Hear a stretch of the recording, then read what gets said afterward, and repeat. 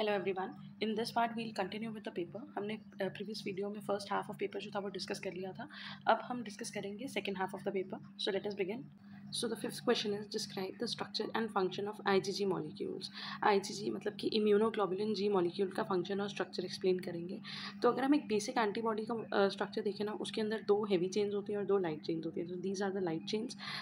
and these two are the heavy chains heavy chains में भी अगर हम देखें तो यहाँ पे वेरिएबल रीजन होता है और कॉन्स्टेंट रीजन होता है। तो ये जिसको हम वी एच या वी एल मार्क कर रहे हैं that mean this is the variable region of heavy chain variable region of light chain constant region of heavy chain constant region of light chain और सिमिलरली हमें इस side पर भी ये देखने के लिए मिलेगा।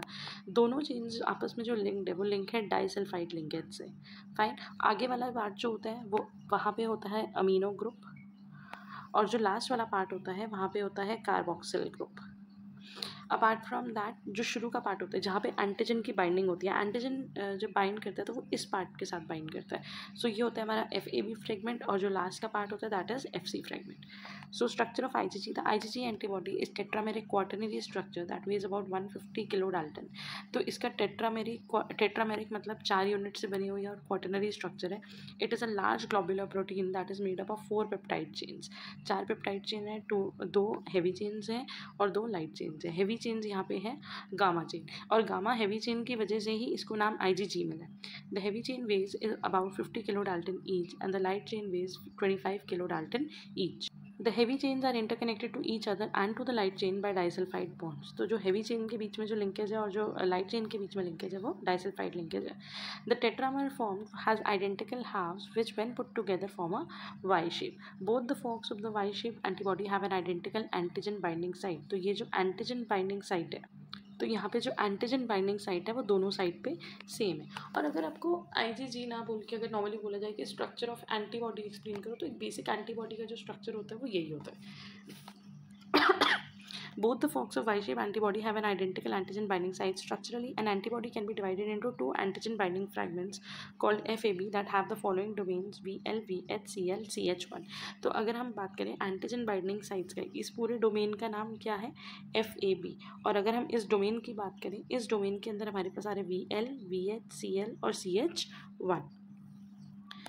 and an FC region that forms the trunk of Y-shaped antibody. The FAB domain has variable antigen binding site called the FB region that differ from antibody to antibody. जैसे अब हमने क्लोनल सिलेक्शन में भी पढ़ा था कि specific B sales होते हैं स्पेसिफिक एंटीबॉडीज प्रोड्यूस होती हैं। हर एंटीजन के लिए जो एंटीबॉडी होती है, वो डिफरेंट होती है। तो वो वेरिएबल वेरिएशन कहाँ आ रही है? इस वेरिएबल रीजन में। और क्योंकि ये पूरा वेरिएबल रीजन है तो इसको हम एफ़ रीजन भी बोल सकते हैं। ये एंटीबॉडी टू एंटीबॉडी वेरी करते हैं। एफ़ रीजन कॉन्स्टेंट है, इसीलिए उसके लिए डिनोशन हमने सी यूज़ करा हुआ है। तो जो बॉटम वाला ये एफ़ सी रीजन है ये हर एक एंटीबॉडी का कॉन्स्टेंट होएगा। जो मेन एंटीबॉडीज़ डिफ़र कर रही हैं वो डिफ़र कर रही है उनके वेरिएबल रीजन की वजह से। Function of I G G antibodies H S I G G M A and D take part in humoral immunity that is antibody mediated immunity है हमारी बॉडी की, जो फ्लूड इम्यूनिटी होती है। I G G is a majorly found extra cellular fluid and blood ये सबसे important point है कि ये हमारी बॉडी में सबसे मेजर अमाउंट में प्रेजेंट होती है एक्स्ट्रा सेलुलर फ्लूड में मतलब सेल के बाहर जितना फ्लूड है और ब्लड में मतलब लिम्फ और ब्लड में। It binds to several pathogen such as virus bacteria fungi and protect from infection IgG fight infection by the following mechanism जब भी हमारी बॉडी में कोई एंटीजन एंटर करता है ना तो जो प्राइमरी एंटीबॉडी होती है, वो होती है आईजीएम धीरे धीरे करके आईजीएम हमने क्लास स्विचिंग में पढ़ा था कि आईजीएम जो होती है, वो धीरे धीरे करके कम होती रहती है और आईजीजी की जो कॉन्सेंट्रेशन है, वो बढ़ती रहती है। तो वो आईजीजी जो है, वो हमारी सिरम में, हमारे ब्लड में बॉडी में काफ़ी टाइम तक वो एग्जिस्ट करती है। IgG molecule bind with the pathogen causing immobilization. The antibody-coated pathogen is easy to recognize and ingested by phagocytic immune cells. तो ये क्या करेगी ये बाइंड करेगी पैथोजन के साथ और उसे इमोबलाइज कर देगी मतलब अब उसको मूव नहीं करने देगी तो ये जब एंटीबॉडी उस पैथोजन के साथ कोट हो गई तो इसकी वजह से उसकी जो फैगोसाइटोसिस है, उसकी सिग्नलिंग स्टार्ट हो जाएगी मतलब कुछ ऐसे साइटोकाइंस कुछ ऐसे केमिकल सिक्रीट होंगे, जो फैगोसाइटिक सेल्स को वहाँ पे इन्वाइट करेंगे IgG activates the classical component pathway, releasing immune proteins and eliminate pathogen उसके अलावा ये क्लासिकल कॉम्पोनेंट पाथवे को भी कॉम्प्लीमेंट पाथवे को भी एक्टिवेट करती है। हमने क्लासिकल कॉम्प्लीमेंट के बारे में पढ़ा था कि क्लासिकल कॉम्प्लीमेंट पाथवे तब एक्टिवेट होता है जब एंटीजन एंटीबॉडी कॉम्प्लेक्स बनता है। अब यहाँ पे एंटीजन एंटीबॉडी कॉम्प्लेक्स तो बन गया तो कॉम्प्लीमेंट पाथवे भी क्या होगा? एक्टिवेट हो जाएगा और वो एलिमिनेट करने में हेल्प करेगा पैथोजन को। It also binds to and neutralises the toxins कई पैथोजन जैसे डिप्टीरिया का जो बैक्टीरिया होता है या कई कई ऐसे और भी बैक्टीरियाज होते हैं जो टॉक्सिन्स प्रोड्यूस करते हैं तो ये उनको भी न्यूट्रलाइज करने में हेल्प करती है. Apart from that it also helps in antibody dependent cell mediated cytotoxicity and intracellular antibody mediated proteolysis. तो एंटीबॉडी पे डिपेंड होकर जो साइटोटॉक्सिसिटी होती है मतलब कि जो सेल की किलिंग होती है, क्योंकि यहाँ पे एंटीजन एंटीबॉडी कॉम्प्लेक्स बना, उससे टी सेल्स एक्टिवेट होंगे, वो साइटोटॉक्सिक होते हैं, उससे साइटोटॉक्सिसिटी मतलब किलिंग ऑफ़ सेल्स होगा। तो ये सारी चीज़ों में भी ये हेल्प करता है। Thus it plays an important role in type one and type two hypersensitivity reaction also तो ये सारे इसके इंपॉर्टेंट फ़ंक्शन हैं and this is the basic structure the next question is how does our immune system prevent autoimmunity autoimmunity वो condition होती है जब हमारी बॉडी सेल्फ और नॉन सेल्फ को रिकोगनाइज नहीं कर पाती या फिर हम कहते हैं कि हमारी बॉडी सेल्फ एंटीजेंस के अगेंस्ट ही एक्ट करने लग जाती है और हमारे अपने सेल्स को डिस्ट्रक्ट करना शुरू कर देती है। So that condition is known as autoimmunity there are mechanism within our body immune system to check and ensure the removal of self reactive cells जब हमारी डेवलपमेंट uh, हो रही होती है मतलब एम्ब्रियोनिक डेवलपमेंट uh, के टाइम पे हमारी बॉडी में जितने भी सेल्फ एंटीजेंस होते हैं ना सॉरी जितनी भी सेल्फ एंटीबॉडीज़ होती हैं मतलब जो एंटीबॉडीज़ हमारी सेल सेल्स को डिस्ट्रक्ट कर रही है या उनके अगेंस्ट काम कर रही है, वो हमारी उसी टाइम पे धीरे धीरे करके एलिमिनेट हो जाती है। तो हमारी बॉडी का, हमारे इम्यून सिस्टम का ये एक मैकेनिज्म है कि वो जितने भी सेल्फ रिएक्टिव सेल्स हैं, उनको बॉडी से रिमूव करेगा, इसको बोलते हैं tolerance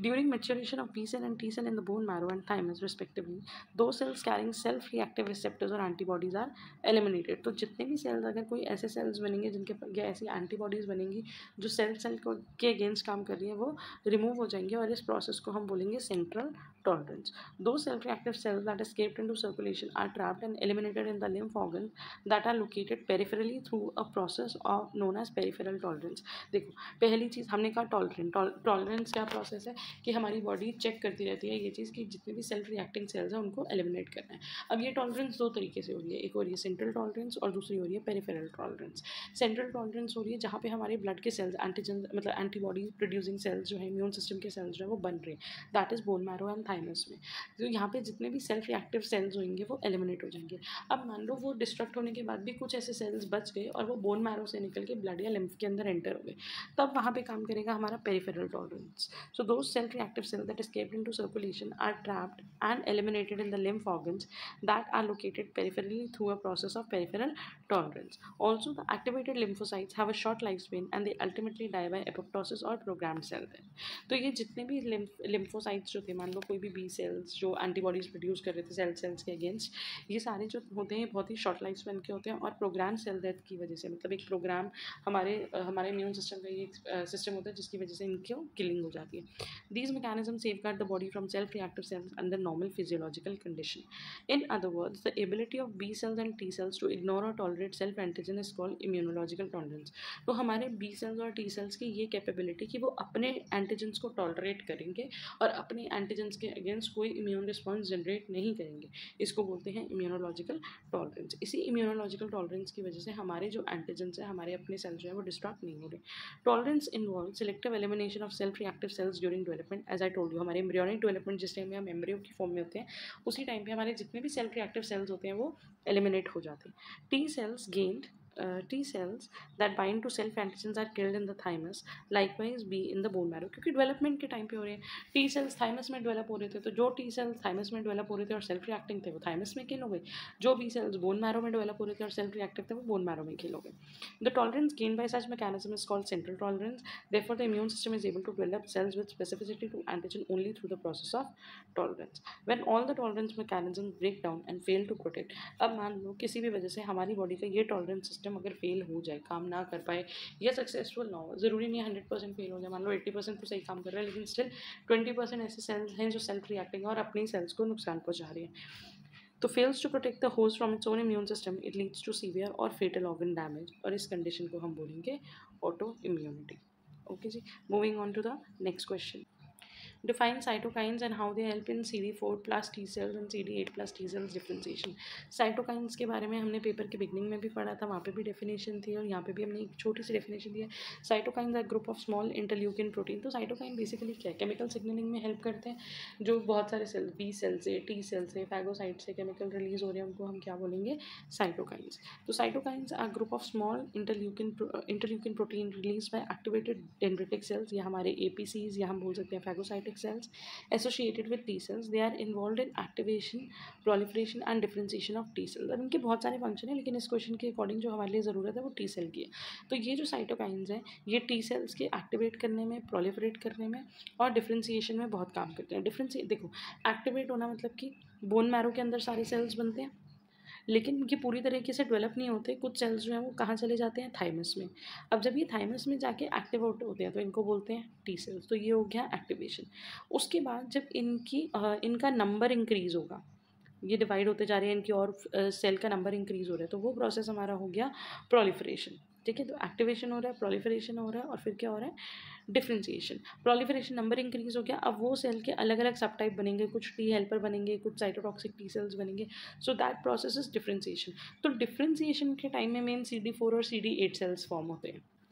So cytokines are protein molecules that act as signaling molecules for that play an important role in activation, differentiation and regulation of T cells and other immune cells. अगर हम बात करें कि helper T cells कैसे differentiate होते हैं आपने पढ़ा होगा cells of immune system में हमने पढ़ा था कि CD4 जो होते हैं वो होते हैं helper T cells. तो अगर हम बात करें कि CD4 या helper T cells कैसे differentiate हो रहे हैं interleukin 12 stimulate the activated T helper cell to produce T helper subset that is TH1, TH2 and memory helper T cells and regulatory helper T cells. Interleukin 2 helps to develop T two cells तो interleukin twelve जो है, वो ये सारे सब types बना रहे हैं वेराज इंटरल्यूकिन टेन जब रिलीज़ हो रहा है तो वो डेवलप करने में हेल्प कर रहा है टी हेल्पर टू को।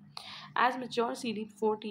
T cell receptors recognise specific antigen bound to M H C class two of the A P C the T cell become activate जब भी ये टी सेल रिसेप्टर्स जिसके पास सी डी फोर है, अगर वो M H C class two के ऊपर देखेगा कि कोई भी एंटीजन प्रेजेंट हुआ हुआ है तो वो उस एंटीजन के साथ बाइंड कर लेगा। The T helper become activate to release cytokine तो मतलब कि अगर एक MHC है और उसके ऊपर कोई एंटीजन प्रेजेंट है तो ये टी सेल उसके साथ बाइंड कर लेगा थ्रू टी सेल रिसेप्टर और ये टी सेल क्या हो जाएगा? एक्टिवेट हो जाएगा और रिलीज़ करेगा cytokines after being activated T helper undergo clonal selection activation होगी, इसकी क्लोनल सिलेक्शन होगी प्रोलिफरेशन डिफ्रेंशिएशन होगी और अलग अलग टाइप्स के सेल्स बनने स्टार्ट हो जाएँगे. तो हमने कहा ये एक्टिवेट होने पर जब ये एंटीजन के साथ बाइंड हो गया, तब साइटोकाइन रिलीज़ हो गया. तो वो cytokine interleukin twelve interleukin ten और इसके अलावा भी बहुत सारे इंटरल्यूकिन होते हैं.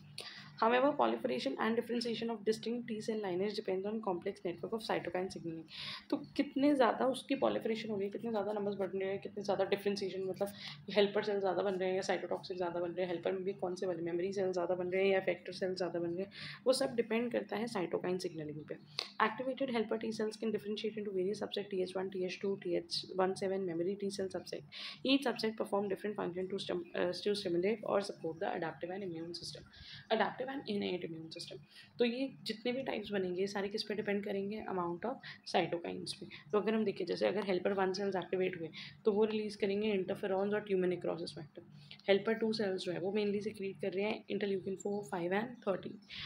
T helper one seven cells जो हैं, वो रिलीज़ कर रहे हैं इंटरल्यूकिन सेवनटीन ट्वेंटी वन और ट्वेंटी टू तो इनके अपने अपने फ़ंक्शन हैं, इनके अलग अलग फ़ंक्शन ये अलग अलग तरीके से काम करते हैं और इम्यून सिस्टम के बाकी सेल्स को भी एक्टिवेट करना शुरू कर देते हैं. इसलिए हम इसको सिग्नलिंग बोल रहे हैं. Next है cytotoxic T cell differentiation. TH1 cell secrete cytokines that stimulate the proliferation and differentiation of cytotoxic T cells अगर आप यहाँ पे भी देखो, ये इंटरफेरॉन और ट्यूमर निक्रोसिस फैक्टर रिलीज़ कर रहे हैं टी हेल्पर वन सेल और इसका फ़ंक्शन क्या है? स्टिमुलेट करना साइटोटॉक्सिक टी सेल्स को। तो मतलब टी हेल्पर सेल की जो फ़र्स्ट पॉपुलेशन थी, उसने मतलब जो फ़र्स्ट सब टाइप था, उसने सिक्रीट करा इंटरल्यूकिन टू या फिर इंटरफेरॉन और उस इंटरफेरॉन ने किसको एक्टिवेट करा? साइटोटॉक्सिक टी सेल को। Effector cytotoxic T cell releases cytotoxic molecules called perforin and granzyme. अब साइटोटॉक्सिक का मतलब होता है कि साइटो का मतलब सेल टॉक्सिक का मतलब उसके लिए हार्मफुल है मतलब कि सेल की किलिंग करना। अब सेल की किलिंग करने के लिए क्या करते हैं? सबसे पहले उसकी प्लाज्मा मेम्ब्रेन उसकी जो आउटर मेम्ब्रेन है, जिस भी पैथोजन की सेल को किल करना है, जिस भी पैथोजन को किल करना है, उसकी मेम्ब्रेन में होल करना ज़रूरी है, उसको किल करने के लिए। तो टी सी सेल्स क्या करते हैं? साइटोटॉक्सिक मॉलिक्यूल्स रिलीज़ करते हैं, जिनका नाम है परफोरिन एंड ग्रैनजाइम्स जो डिस्ट्रॉय करते हैं एंटीजन इन्फेक्टेड सेल को। Effector T cell differ from naive mature T cells as they quickly respond and attack target cells to destroy intracellular antigen effector T cells जो है, वो इम्यूनो कॉम्पिटेंट हो चुके हैं मतलब वो फटाफट से रिकोगनाइज करेंगे और जल्दी से रिस्पॉन्ड करके अटैक करेंगे। These effector C D eight T plus cells help memory cells that are ready to respond to subsequent exposure और टू अ स्पेसिफिक पैथोजन इसके साथ साथ सिमिलर सब टाइप के मेमोरी सेल्स भी बनते जाएँगे, ताकि अगर सब्सिक्वेंट एक्सपोजर हो तो उस टाइम में वो पैथोजन के अगेंस्ट ईजिली काम कर सके। एक चीज़ याद रखना है, जहाँ पे इंट्रा सेल्यूलर एंटीजन आ रहे हैं मतलब कि वो एंटीजन जो हमारे सेल के अंदर एंटर हो चुके हैं, उसके अगेंस्ट काम करता है हमारा C D eight T cells मतलब कि हमारी साइटोटॉक्सिक सेल्स और जो हमारे हेल्पर सेल्स होते हैं, वो काम करते हैं जब वो एंटीजन सेल के बाहर है मतलब बाहर एम के ऊपर प्रेजेंटेड है देखो the differentiation step is required required to make clonal, uh, clonal T cells with specific functions that regulate and prevent microbial infection as well as development of memory cell. तो इनके बहुत सारी copies बननी शुरू हो जाएँगी वो कॉपीज़ बनने के बाद this is how they will prevent the further infection So the next question is write short note on any four of the following the first one is monoclonal antibodies mono antibodies तो हमें पता है कि B cells antibody से create करते हैं, जो antigen के साथ बाइंड करती है। लेकिन मोनोक्लोनल का मतलब है वो एंटीबॉडी जो सिर्फ़ एक स्पेसिफिक टाइप ऑफ़ एंटीजन के साथ ही बाइंड करेगी। हमने बिगनिंग में पॉलीक्लोनल एंटीबॉडी के बारे में भी पढ़ा था। So monoclonal antibodies are identical immunoglobulin generated from a single stimulated B cell clone these antibodies are specific to only one epitope of a single antigen तो ये एक एंटीजन के, किसी सिर्फ़ एक एपिटोप के साथ ही बाइंड करेगी। और पॉलीक्लोनल जो होती है, मान लो, अगर ये कोई पैथोजन है, कोई एंटीजन है, इसके ऊपर दो तीन तरीके के एंटीजन या एपिटोप्स प्रेजेंट है। ठीक है? ये अलग अलग इसके पास एंटीजन या एपिटोप्स प्रेजेंट है। पॉलीक्लोनल इन सबके साथ बाइंड कर सकती है, लेकिन मोनोक्लोनल किसी एक से स्पेसिफिक के साथ ही बाइंड करेगी। So they are generally produced artificially. In vitro production of mono, monoclonal antibodies is done by introducing an antigen of interest to a model organism, say a mouse. So basically इसको हम in vitro या artificially ही induce कर सकते हैं. And the result, B cells are then fused with myeloma cells. The product of the fusion of two different cells is called the hybridoma. तो इसमें हम क्या करते हैं जिस एंटीजन के अगेंस्ट हम एक मोनोक्लोनल एंटीबॉडी बनाना चाहते हैं उस एंटीजन को लेट से हमने माउस के अंदर इंजेक्ट कर दिया अब इंजेक्ट करने से क्या होगा वो जो माउस है उसके इम्यून सेल्स उसके जो बी सेल्स है वो एक्टिवेट एक्टिवेट होंगे और एक्टिवेट होकर वो फ्यूज़ करेंगे माइलोमा सेल्स के साथ। ये दोनों, जब बी सेल्स और myeloma cells myeloma cells are a type of plasma cells जब ये आपस में बाइंड करेंगे तो ये एक हमारे पास हो गया hybridoma the hybridoma cells are then cultured which continue to produce antibody against the specific antigen hybridoma cells have growth property of cancerous cell मतलब कि ये अनलिमिटेड प्रोलिफरेट करते रहेंगे। And antibody producing property of normal B cell तो ये B sales की तरह antibodies produce करते रहे जा रहे हैं और कैंसरस सेल्स की तरह इन्फिनिटली बढ़ते जा रहे हैं डिवाइड होते जा रहे हैं, होते जा रहे हैं। Monoclonal antibodies are use as therapeutic agents in chemotherapy and other immune diseases the advantage of producing monoclonal antibodies is it specificity and affinity मतलब अगर हम किसी पैथोजन को किसी स्पेसिफिक एंटीजन पर टारगेट करना चाहते हैं तो हम मोनोक्लोनल एंटीबॉडी यूज़ करते हैं। Monoclonal antibodies are currently use to treat cancer but their exorbitant cost has prevented them from being use more widely to treat infectious diseases still their potential for laboratory and clinical use driving the development of new cost effective solution like planty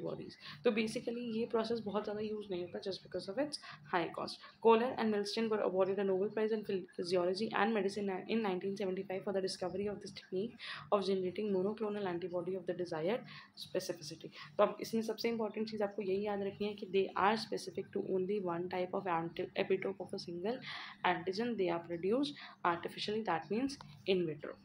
the next is opsonization opsonization basically होता है programme cell killing मतलब जब अगर phagocytosis को induce करा जाए signalling के through phagocytosis करवाई जाए किसी सेल की तो उसको बोलेंगे ऑप्शनाइजेशन अब ये जो ऑप्शनाइजेशन है, ऐसा भी हो सकता है कि मैक्रोफेजेस ने लेट से मैक्रोफेज था मैक्रोफेज ने किसी एक एंटीजन को इंजेस्ट कर लिया, उसके बाद मैक्रोफेज ने साइटोकाइन क्रिएट करे और साइटोकाइन से और फैगोसाइट्स को वहाँ पर इन्वाइट कर लिया। या ये भी हो सकता है कि हमारे कॉम्प्लीमेंट सिस्टम के प्रोटीन एक्टिवेट हुए थे और उन प्रोटीन ने फैगोसाइटोसिस करवा दी so opsonization is an immune process that uses opsonins to tag pathogen ये पैथोजन के ऊपर टैगिंग कर देते हैं for elimination by phagocytes macrophages can also deploy alternate mechanism through which antigen could be made more susceptible to phagocytosis मतलब macrophages और भी कुछ कर सकते हैं जिससे वो एंटीजन है, जो पैथोजन है, वो और ज़्यादा ससेप्टेबल हो जाए फैगोसाइटोसिस की। मतलब उसके ऊपर कुछ ऐसी लेबलिंग कर दी कि भाई जो फैगोसाइटिक सेल है वो पहले और बहुत जल्दी इसको फैगोसाइटोस कर लेंगे, इसको इनगल्फ कर लेंगे। इन ऑप्शन तो इसको हम प्रोग्राम फैगोसाइटोसिस भी बोलते हैं। In opsonization an antigen say a bacteria is coated with the appropriate antibody forming an antigen antibody complex. A second antibody form linked with the antigen antibody complex and receptor protein on the macrophage membrane. तो basically क्या होगा ये एक antigen था इसके against बनी एक antibody antigen antibody complex बन गया ये जो एंटीबॉडी थी इसके साथ एक और एंटीबॉडी बाइंड करती है जिस जिसका दूसरा एंड जो है वो किसी मैक्रोफेज के साथ कनेक्टेड है तो वो मैक्रोफेज इसके साथ कनेक्ट होगा और इस सेल को इनगल्फ कर लेगा So this is how program cell killing is done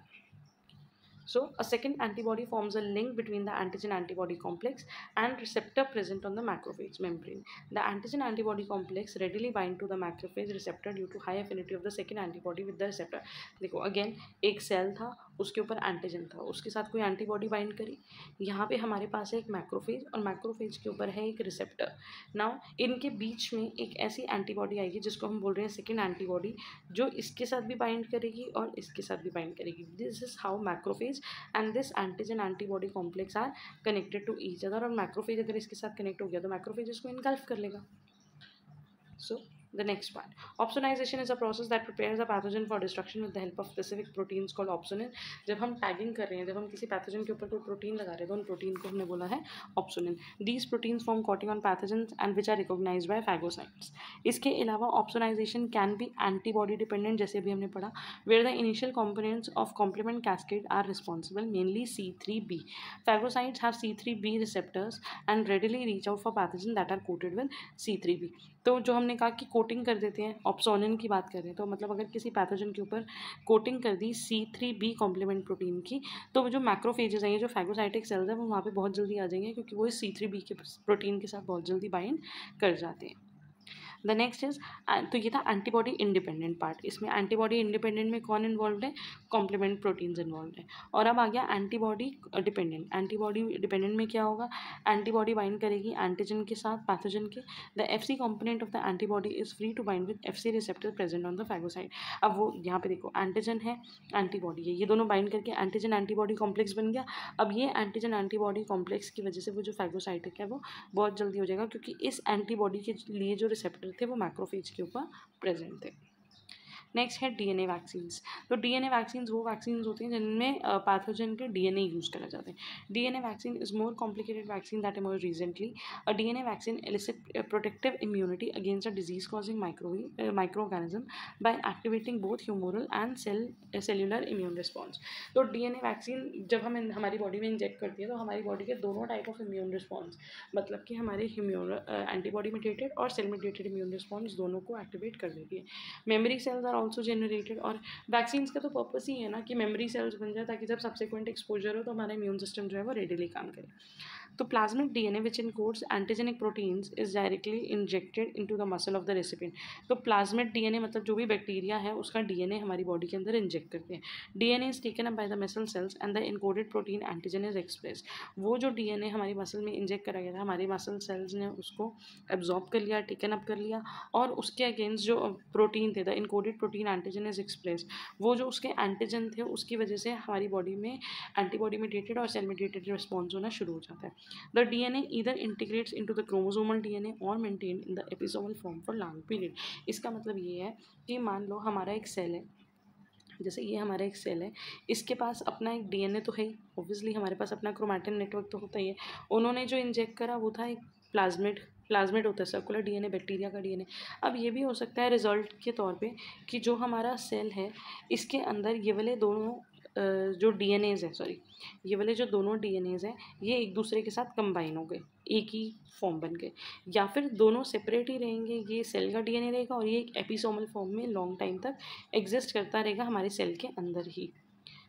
The D N A integrate chromosomal D N A or maintained in episomal form for long time. There are many advantages of DNA vaccines over many of the existing vaccines. There is no denaturation or modification of encoded proteins and as it is expressed into the host in its natural form. यहाँ पे कोई भी modification नहीं होती क्योंकि हमने as it is DNA ही डाला which is the main thing. The immune response is directed to the antigen exactly as expressed by the pathogen. तो जैसा pathogen था वैसा ही immune response निकलेगा क्योंकि DNA is the basic thing which is encoding the pathogen. Both humoral and cell-mediated immunity are activated by DNA vaccines to elicit both immune response with non-DNA vaccine, immunization with a live attenuated preparation is required, which may introduce additional element of risk. अगर हम normally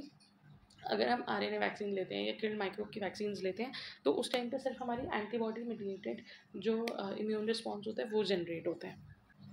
तो basically दोनों type of immune response generate करने के लिए अगर हम live attenuated viruses या लाइव एटेनुएटेड प्रिपरेशन यूज़ करते हैं तो उसके बहुत सारे एडिशनल रिस्क हो सकते हैं। लाइव ना यूज़ करके इसलिए हम बेटर होता है कि हम डी एन ए फ्रैगमेंट से वैक्सीन प्रिपेयर करते हैं और वो इंजेक्ट करते हैं। N A vaccine cause long expression of the antigen it generates momentous immunological memory इससे जो होता है वो हमारा एंटीजन क्योंकि वो डी एन ए क्या हो रहा है, हमारे सेल्स में आके रेप्लिकेट हो रहा है तो उससे जो हमारी इम्यूनोलॉजिकल मेमोरी बनती है, वो बहुत लॉन्ग लाइनिंग होती है. The control low temperature is not required for handling and storage of plasmid D N A D N A vaccine को कंट्रोल करना है टेम्परेचर फ्रेंडली है मतलब वहाँ पे हमें बहुत ज़्यादा लो टेम्परेचर या बहुत ज़्यादा कूल टेम्परेचर क्रिएट करने की ज़रूरत नहीं है तो इसलिए थोड़ा सा कॉस्ट फ्रेंडली भी हो जाता है. The next is antigen antibody interaction antigen antibody आपस में कैसे इंटरेक्ट करते हैं? एंटीजन एंटीबॉडी बाइंड करते हैं कॉम्प्लेक्स बनता है ये हमें पता है। अभी हमने देखा था कि एंटीबॉडी का जो स्ट्रक्चर होता है, वो समथिंग मतलब दैट इज़ लाइक दिस वो एक फोक शेप स्ट्रक्चर होता है। तो वहाँ पे जब बाइंड हो रहे हैं तो वहाँ पे अगर एंटीजन बाइंड हो रहा है तो एंटीजन का एक रीजन होगा और एंटीबॉडी का एक रीजन होगा, जिसको हम बोलते हैं एपिटोप एंड पैराटोप तो जो बाइंडिंग हो रही है, वो बेसिकली एपिटोप और पैराटोप के बीच में हो रही है. Between several antigenic determinants and antibody paratopes that lead to cross linking and visible clumping of complex form call agglutination reaction तो जब ये बाइंड होते हैं और हमें एक विजिबल रिज़ल्ट दिखते हैं विजिबल क्लम्पिंग दिखते हैं उसको हम बोलते हैं agglutination the antibodies that cause these reaction are call agglutinin जो एंटीबॉडीज़ की वजह से ये रिएक्शन होता है, उनको बोलते हैं agglutinants agglutination reactions have immense diagnostic applications ये बहुत ज़्यादा लेबॉर्ट्री पर्पस पे यूज़ होते हैं. It is observe antigen antibody complex is easily observe in the form of visible clumps the quality and quantity of which will depend upon the incubation period affinity quantity of conjugated antigen reaction condition P H temperature etcetera कितनी ज़्यादा clumping नज़र में आएगी, वो depend करता है कि हम कितनी देर इंक्यूबेट कर रहे हैं, कौन से टेम्परेचर पे, कौन से पीएच में. इसका मतलब ये नहीं है कि जितना अच्छा टेम्परेचर होगा, उतनी अच्छा या जितनी देर इंक्यूबेट करेंगे इसका मतलब कभी कभी ये भी होता है, जैसे कई एंटीजन एंटीबॉडी रिएक्शन ऐसे होते हैं, अगर हमने एंटीजन और एंटीबॉडी को मिक्स करा तो विद इन अ मिनट और थर्टी सेकेंड या सिक्सटी सेकेंड्स के अंदर हम उसे देखना है कि क्लम्पिंग हो रही है या नहीं हो रही, क्योंकि उसके बाद तो वो हो ही जाएगी जब वहाँ पर एक स्पेसिफिक एंटीबॉडी ना भी हो। तो ये सारी चीज़ें कंट्रोल्ड इन्वायरमेंट में करी जाती हैं और एक मतलब मॉनिटर करके करी जाती हैं। Agglutination reaction have immense diagnostic application like latex agglutination flocculation bacterial agglutination ये अलग अलग टाइप ऑफ़ एग्लूटिनेशन रिएक्शन होते हैं। जैसे लेटेक एग्लूटिनेशन में जो हम सिरम यूज़ करते हैं, वो लेटेक्स मतलब जो कोल या कार्बन से कोटेड होते हैं, ताकि वो ब्लैक कलर की जो एंटीबॉडी के साथ जब वो रिएक्ट करे तो वो ब्लैक कलर के क्लम्स बने जो इजीली नज़र आ जाए। In general serial dilution of the serum are made to which particular antigen carrier is added fix concentration and incubated thirty seven degree until visual clumping is observe serial dilution भी बनाते हैं हम। Serial dilution में क्या होता है कि हम, जैसे अगर सिरम लिया तो सिरम पहले ज़्यादा लिया। मान लो हमने लिया टेन माइक्रोलीटर फिर हम लेंगे फाइव माइक्रोलीटर फिर हम लेंगे टू माइक्रोलीटर तो इससे हम ऑब्ज़र्व करेंगे, इसमें एंटीजन एंटीबॉडी कॉम्प्लेक्स बन रहा था। क्या इसमें भी बन रहा है? क्या इसमें भी बन रहा है? अगर कम एंटीबॉडीज़ के साथ भी कॉम्प्लेक्स बन रहा है, इसमें भी बन रहा है दैट मीन्स यहाँ पे एंटीजन बहुत ज़्यादा प्रेजेंट है। तो अगर हमें ये ऑब्ज़र्व करना हो किसी रिएक्शन में, एक तो होगा एंटीजन एंटीबॉडी कॉम्प्लेक्स बना क्लम्पिंग हुई, वो क्लम्पिंग हमें नज़र में आ रही है तो बस हमें प्रेजेंस देखनी कि भाई एंटीजन एंटीबॉडी प्रेजेंट है क्लम्पिंग हो रही है। मतलब अगर हमारे ब्लड में कोई एंटीबॉडी प्रेजेंट है। हमने उसके अगेंस्ट एंटीजन डाल के देख लिया। अगर ब्लड में एंटीबॉडी प्रेजेंट थी, कॉम्प्लेक्स बना क्लम्पिंग हो गई अगर ब्लड में एंटीबॉडी नहीं प्रेजेंट थी, कॉम्प्लेक्स नहीं बना क्लम्पिंग नहीं। इसके अलावा अगर कई केसेस में हमें मेजर करना है कि क्लम्पिंग किस एक्सटेंड में हो रही है, ज़्यादा हो रही है, कम हो रही है, उस केस में सीरियल डाइल्यूशन करे जाते हैं। बैक्टीरिया बैक्टीरियल एग्लूटिनेशन रिएक्शन के detect antibodies generated during a bacterial infection ये तो नाम से ही पता चल रहा है कि वो एग्लूटिनेशन जो बैक्टीरियल इन्फेक्शन को डायग्नोस करने में हेल्प करेंगे antibodies are specific for antigenic determinants present on the cell surface bacterial cell surface तो यहाँ पे जो हम एंटीबॉडीज़ चेक कर रहे हैं, वो किसके अगेंस्ट चेक कर रहे हैं? उन एंटीजन के अगेंस्ट जो बैक्टीरिया के ऊपर प्रेजेंट होते हैं। नेक्स्ट है quantitative analysis of reaction product and agglutinant titer quantitative में हम यही करेंगे, सीरियल डाइल्यूशंस बनाएँगे और फिर उसको मेजर करेंगे कि कितने डाइल्यूशन में कितनी एग्लूटिनेशन हो रही है। Their application are varied and include clinical diagnosis of both infectious and non infectious diseases ये इन्फेक्शियस और नॉन इन्फेक्शियस दोनों को डायग्नोस करने में हेल्प करती है। जैसे कि विब्रियो कॉलेरा सैल्मोनेला टाइफी जिसकी वजह से बैक्टीरिया होता है वो टाइफाइड होता है। उसके अलावा R P R R P R में हम कुछ प्रोटीन्स देखते हैं बॉडी के अंदर बनते हैं नहीं। एफ़ टी ए उसके अलावा एक होता है टी पी एच ए उसके अलावा होता है सिफिलिस तो इसके अलावा सी आर पी अब सी आर पी जो होता है वो किसी इन्फेक्शन के लिए नहीं हो रहा, वो सिर्फ़ सी रिएक्टिव प्रोटीन देखने के लिए उसके अलावा रूमेटॉइड अर्थराइटिस के लिए आर ए फैक्टर चेक करते हैं, उसमें भी एक ग्लूटिनेशन चेक करते हैं that is also not an infectious disease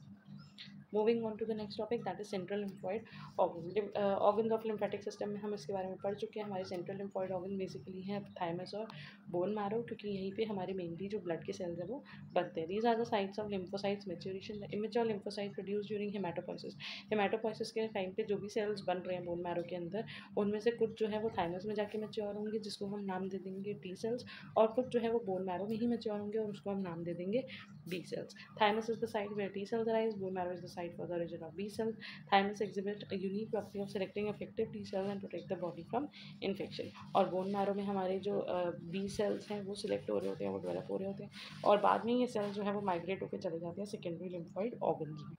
इसको हम डिटेल में बहुत बार हम सेल्स के बारे में बी सेल टी सेल के बारे में, हम कितनी बार अडाप्टिव और इनेटिव इम्यूनिटी में पढ़ चुके हैं। अपार्ट फ्रॉम दैट अगर आपको इसको डिटेल में पढ़ना है तो we have done cells of immune system organ of immune system this you can study then thank you for watching the video I hope it is informative and useful for you all the best for exams.